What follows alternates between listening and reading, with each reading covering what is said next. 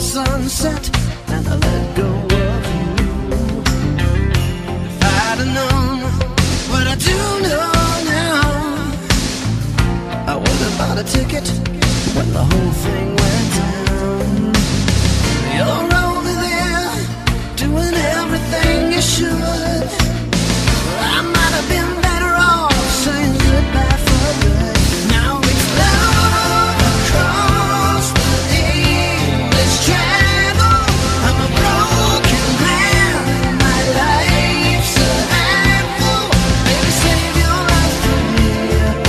you know it's plain to see that I would swim the English Channel just to have you.